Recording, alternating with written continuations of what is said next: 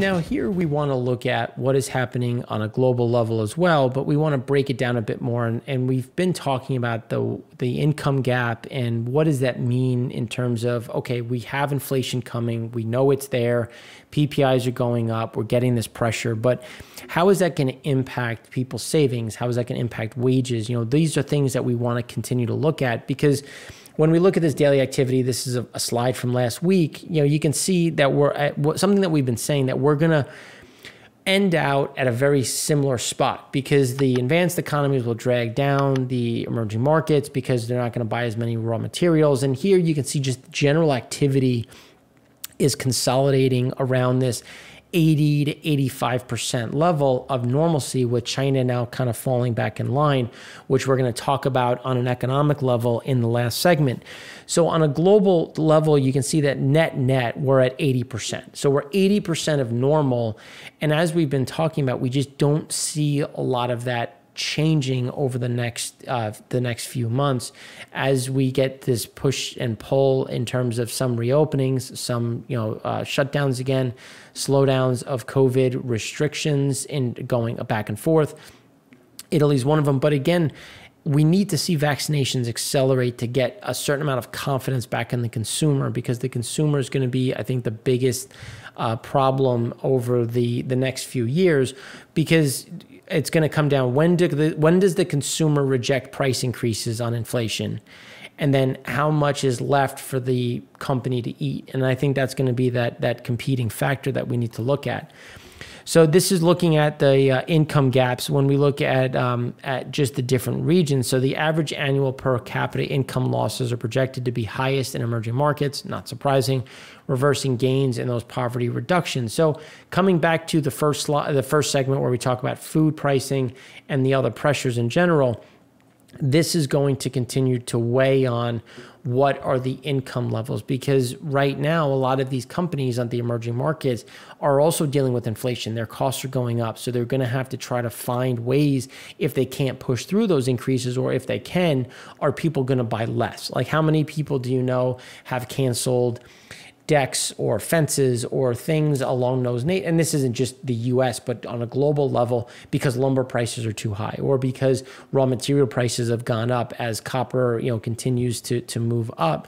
This is again going to weigh on just where people are earning who can earn money how can you invest on an asset level which is why we're seeing these incomes continue to widen and the gaps continuing to drive drive further which the U.S. is still subject to, as we see with continuous riots and, and protests. Where, I, given there's there's the racial side, and and I'm not discounting that because that is still a real a real issue and something that that deserves attention.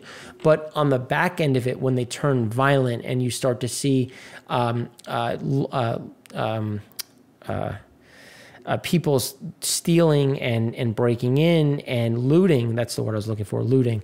When people are looting, I, that's that that's a something different. That is is is expressing a certain amount of anger that is not on the peaceful end. And I think this is something that we're going to continue to see on a global front. Now, why is that going to happen? So, this is just looking at the US now. So, wage growth using weighted averages for industry and employment levels on an annual change. So, when people got laid off from low wage jobs, the benefits outweighed the income that they were earning. So at some point, that's going to drop off, or in theory, should drop off eh, more aggressively. And as that happens, you're going to get incomes coming down. Now, as all of these individuals rush to get jobs at the same time, as they no longer have these benefits, they're going to find a an industry that has changed a bit and they're not going to see the same types of jobs because we still will have some sort of restrictions on you know, distance or you know the amount of capacity which again is going to limit the amount of activity. So then that's going to increase competition for these jobs which will drive down wages. So that's not only a reversal, it'll be a reversal even further below where we started because of these adjustments, which is why savings becomes a bigger component. Because everyone points to, well, everybody saves so much, so they're all going to spend. Well, it wasn't equal. and it wasn't and we have to look at a global level so savings surged while consumption went down obviously consumption adjusted but it adjusted for the rich or the people well off you didn't fly as much go to concerts you know different venues but those who never really did that or that was a one-off special occasion their costs continue to go up. So the savings remain skewed to the top 10% and that top level as we've shown in other shows which which is why the savings is is not the same when you think about what is what what is the total savings level. So the government supported incomes had a huge surge in the areas where we saw the most uh, stimulus obviously the US and Canada are the largest so Canada is continuing to push out additional QE as we heard from today but the US is supposed to pull back. So as the US pulls back, how much of that savings is going to be drawn down because prices are going up. So people are going to spend more from savings to try to maintain. And again, this is going to mitigate some of these assumptions of how much of this savings is going to get pushed into that market. And when we look at household debt by selected markets, so when we look at the debt levels that have come through, going through the third quarter of 2020, you can see that some of these debt levels have continued to trend higher. Now, people have taken out second mortgages or uh, other types of home equity lines to cash in, to spend. And, and again, we're starting to see some of that credit card data pull back already because a lot of individuals spent ahead of getting their stimulus. But this is just showing the trend moving in the upward direction from the emerging markets and then general developed markets debts, household debts continue to go up, continue to trend higher when we look at it on an aggregate, because this is only through Q, 3Q of 2020, it has come down to a point, but there's still a certain amount of support in that debt level because we do have more borrowing, we do have more uh, debt levels that will continue to come through. Now, when we look at global monetary and fiscal stimulus, this is what we were talking about with the amount of stimulus. So the U.S. is now at 12.3 trillion. When we look at uh, potential central bank stimulus and potential fiscal stimulus, and this is as of the end of March 2021. So you can see that we've pushed about 12.3 trillion dollars into the market, 57% on the fiscal side which is, is where we continue to see those those movements through the system. Eurozone's the same way, but when this goes away, when this stimulus goes away, we've already started to see a slowdown in activity because it's when people pre-spent their stimmy. Now it's gone now what comes next? You know uh, do you get a job? Do, you know are there jobs available? You know we saw those spikes come up but now there's going to be some adjustments made to the um, jobless claims just because there's some been reclassifications. And again these are going to be those pressure points that we continue to talk about because this stimulus can't last forever especially given where some of these rates are and and how much we can actually paper the town so when we look at the earnings side, so top 0.1% earnings grew 15 times faster than bottom 90% earnings. So when you look at who has been protected over time, again, speaking to that income gap, the Fed bubble in general. So when we look at what has happened, so when we had these pullbacks in 2000 and again 2008, the finance.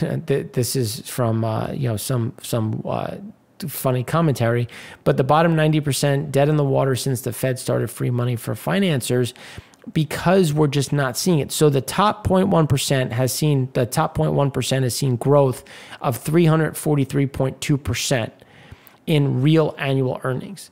Then the top 1% saw 157.3% in earnings. The bottom 90% has seen 22.2%.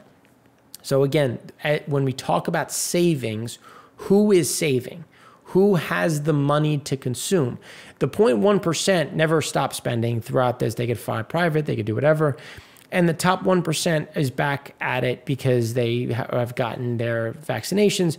But where does the real engine come in and how aggressive will that engine be, which is the issue that we continue to talk about. So then when we look at the, that wealth disparity, so when we look at the top 10%, 85.6 trillion, 50 to 90%, 34.8 trillion. bottom 50%, 2.5 trillion.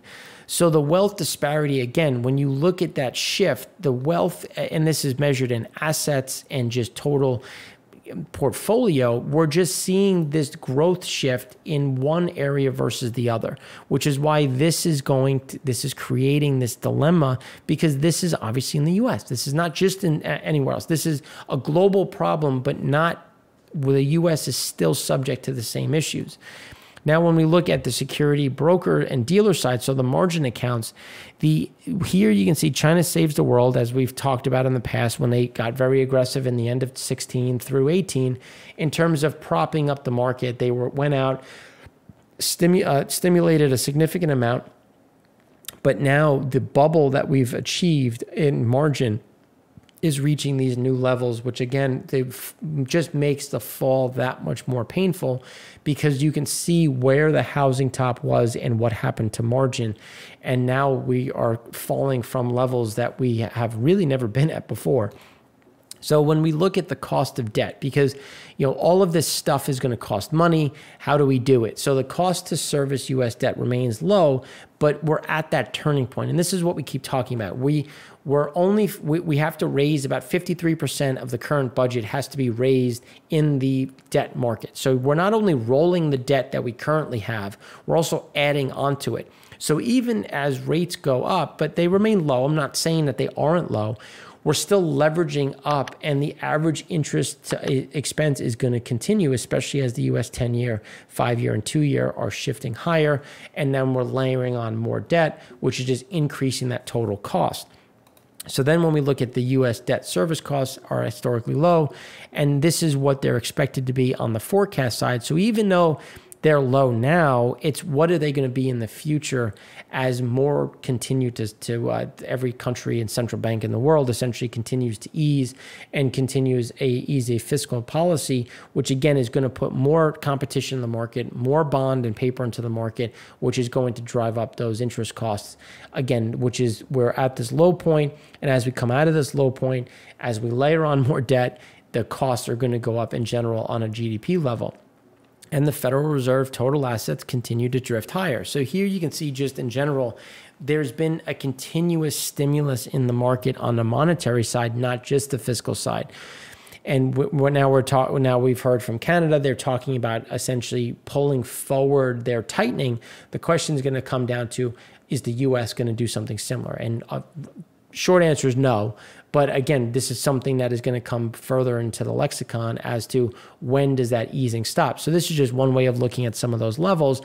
But when we look at on an aggregate, when we uh, aggregate, when we take less eliminations from consolidation, you can see where the general moves have come, and with that that shift higher in just total support in general, and the support remains. But this is looking at the overnight re- reverse repo. So the the federal government has, or the Fed has created assets where instead of going to the money markets account and and trying to go into the repo between banks, which is where your money market accounts go, they've opened up a uh, overnight reverse repo at the New York Fed. So this is showing activity at the New York Fed is exploding. So instead of borrowing from you know UBS or JP Morgan borrowing from Morgan Stanley or Morgan Stanley borrowing from Goldman Sachs they're borrowing from the Fed. So if you look at this the sustained increase signals that offloading of bank reserves from big banks to government money market funds. So they're going there's so much cash at the bank that they are essentially have nowhere to put it needs some sort of return so they're dumping it into the Fed. The last time this happened the we started to see Q easing end and started to see not not really tightening right away, but we started to see talk of tightening. So now that we've seen these big increases, this is going to be one to watch as 88 banks are now in are now going to use this um, uh, that because you have to say by 2 p.m.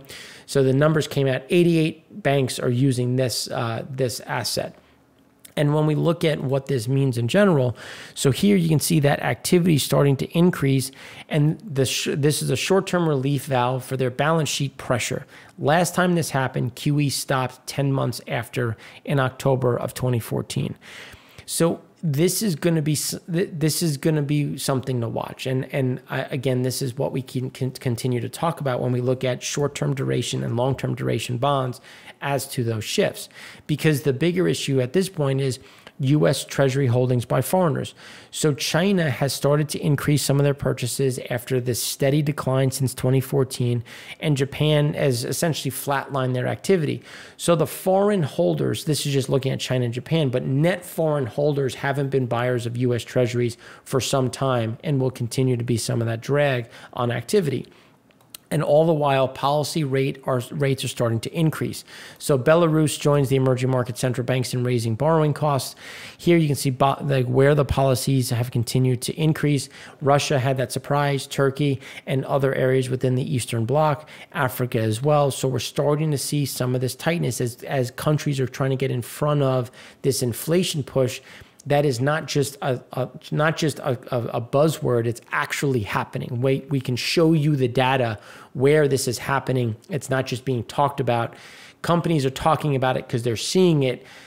Customers are talking about it because they're seeing it. And so that's why when you talk about it it's not you're not making it happen. You're just speaking to what you're seeing or what is going to happen especially on the on the uh, corporate side so then, over the past two decades, episodes of rising yields have been met with uh, crisis. So every time we've gotten to this end of a of the bond bubble, there's a new crisis that has emerged. Now, the problem is each time we've hit these levels, we've had to increase the amount of stimulus because of the law of diminishing returns. So that's why when you look at the amount of zeros in this stimulus, you're seeing that try to get compensated, which again is putting additional pressure on what comes next.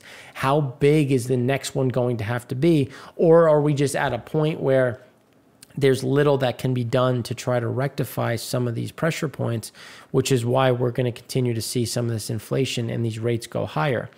And this is just looking at what that is. So when we look at the US manufacturing PMI for delivery times, input prices, and output prices, you can just see where things are. And that's why when we look at the more finished goods versus price inflation, we are seeing price inflation. It's already there moving forward. So, US firms in the manufacturing PMI are making up output prices uh, due to the unprecedented, unprecedented supply delays.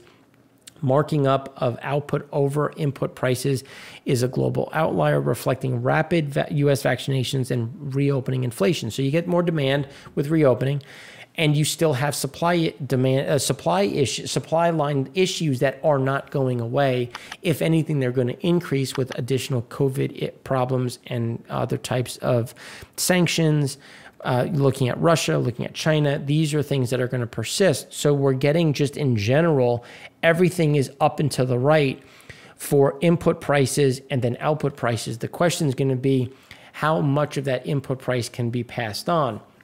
And again, this is coming from the IIF. So then when we look at business equipment spending, so the business equipment flatline for a significant amount of time. So now not only do we have a shortfall in technology and microchips, but it's coming at a time where computers and peripheral equipment are in higher demand than ever before. Now, this is also skewed because there's people are demanding more because they're trying to get in front of the supply delays, but again, this is this was expected in terms of tightness, but uh, given the time delays of new foundries, new facilities, and it's just getting exasperated based on some of these moves. And the spending is again going to also weigh on wage inflation because people companies are looking to do more with technology instead of hiring new individuals now, capital spending on computer, computers and peripheral, nominal price versus yield, uh, real, you can see that the real spending continues to move up. It's it. this is the deflationary cycle that we've seen where prices have been deflationary. Now they're starting to creep up, and they were before COVID. This is the biggest thing that I think is missed in general is prices.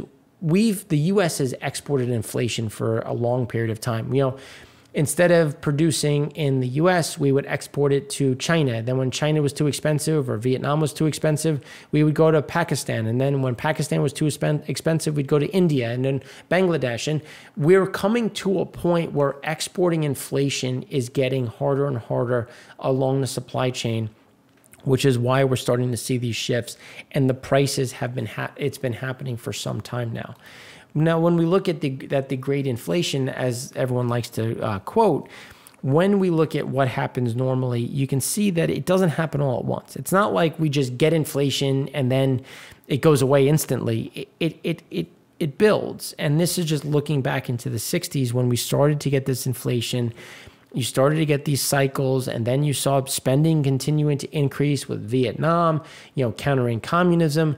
And that was where we continued to see this shift. We, and again, moving into those extremes. So that's why we continue to continuously see these push.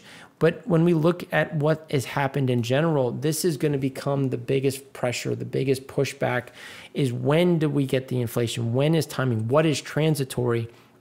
And given what is happening in the market right now, transitory is a relative term, and the pressure is going to persist as we go through the rest of Q2 and well into Q3 at least but this is something that we think is going to carry on well into 2022 and put pressure on what the consumer does and what that GDP recovery is, especially as some of the government stimulus starts to get wound down or at least not renewed just because some of these checks were one time only. And that's going to, again, put more pressure on us going forward.